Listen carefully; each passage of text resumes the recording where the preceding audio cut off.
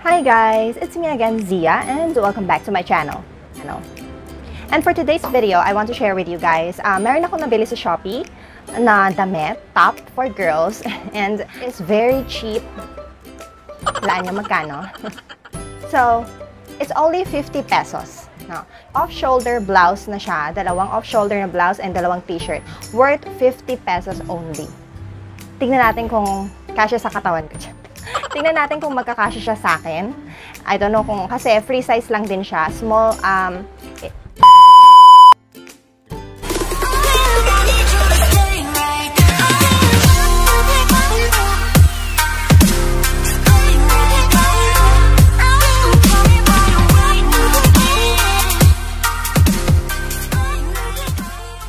for today's video, I want to share kung ano yung nabili ko na worth 50 pesos lang. Sobrang mura guys. As in, nagulat din ako, nag-sale siya sa Shopee. Pero, um, kasi, ito yung shop niya, nga pala. Direct supplier here. So, usually, siguro sila yung kinukuhanan ng mga online sellers. Kaya, 50 pesos lang. Tapos, yung mga online sellers, syempre, ginagawa 100 to 150 para yung margin. Diba, yung margin. Margin. Yung tubo nila, of course, uh, the seller price. Silang iba't ibang damit. Pero for now, eto, ang in-order ko.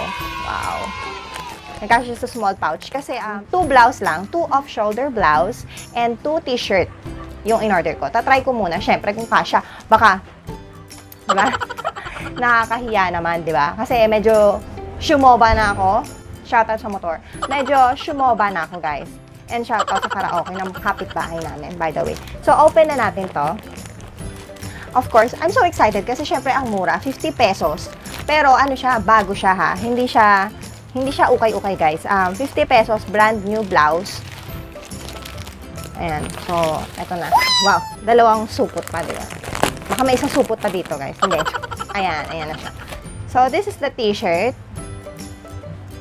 Ayan. Fuchsia pink. Siyempre, isusukat ko siya guys. Papakita ko sa inyo. And, army green. Ayan. Ito yung t-shirt. Sukat ko siya para makita nyo. Of course, kung kasya sa akin. Sabi, it fits to small to large daw. daw. Free size. Dalawang t-shirt. Worth 50 pesos guys, diba? 100 dalawa. Sobrang mura and bago. And gusto kong i-share sa inyo yung shop nila. Although, this is uh, this is not sponsored guys ha. And ito yung off-shoulder. Yung off-shoulder na ano, black. Hilig ako sa black. Ayan. Ay, teka. Tabing. Oh my God. Ayan. So, this is the black one na off-shoulder. And the pink one. Wow. Oh my God. Medyo parang sexy pala tong pink na to, no? Ayan. So, I'm gonna try it on. And, of course, uh, gusto kong makita nyo. Try muna natin tong um, pink na off-shoulder. 50 pesos, di ba? Siya, guys. Wait, um... Hindi ko na ipapakita yung baba kasi ang taba ko na. Sakto naman, kahit medyo tumaba na ako. Mag, magpapapayat muna ako ng bilbel bago ko ipakita. Kaloka. Okay. So, ayan.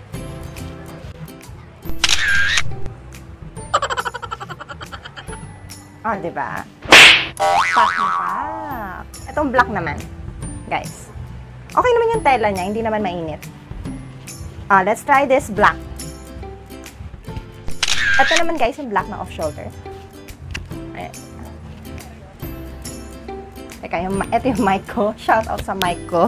Hello, hello. diba? Ang cute niya. 50, pe 50 pesos lang. Hmm.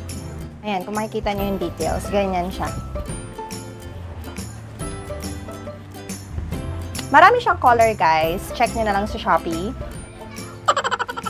Maganda siya i sa mga skirts. Guys, halagang 50 pesos, meron na kayong pang OOTD or pang outfit of the day. Meron pa akong mga binilin t-shirt, which is the, eto nga, tong army green na t-shirt. Plain lang siya na v-neck, guys. The t-shirt, guys. Okay naman yung color niya, di ba? Fuchsia pink and v-neck siya and simple lang siya. Slim fit lang din siya na t-shirt and kasya naman siya sa akin kahit tumaba na ako, di ba? Uh, small to medium frame lang pala yung size niya. Pero expandable naman siya, stretchable. So, baka large, parang large na rin kasi yung katawan ko eh. So, I guess, ayun, buti kumasya, di ba? Worth 50 pesos. Okay naman, parang semi-cotton siya. Hindi siya mainit. Press ko lang siya. Ito yung pang-apat. Ayan, guys. This is one of my favorite color kasi army green din. And yun nga, halata naman na favorite ko din yung mga pink. So, this is the fourth t-shirt na nabili ko. So, syempre, 200 overall kasi 50 pesos each. And nakaapat ako ng magandang blouse or t-shirt. And that's it. Gusto ko lang i-share sa inyo yung experience ko and review ko about the products. And medyo manipis nga lang yung tela niya, pero okay na rin. Um, ayan. That's it for today and I hope you like and enjoyed watching my video. Again, I I just want to share with you para alam nyo na may mga gantong murang damit, very cheap price and of course, brand new. Hindi siya sa ukay-ukay but yun nga, 50 pesos lang siya and I enjoyed buying this this type of clothes. Siyempre, maganda if compared sa mga tela na nasa mall, um, of course, hindi naman sobrang perfect ng mga pagkakatahi ng mga damit na ganito, but nasa sa inyo na yon.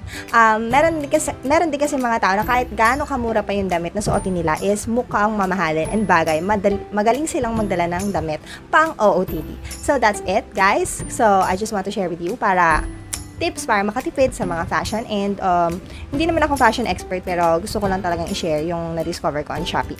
And I hope you like my video. If you're new to my channel, please subscribe, hit the bell notification icon, and of course, um, um, comment down below para mabasa ko yung mga opinions and suggestions nyo.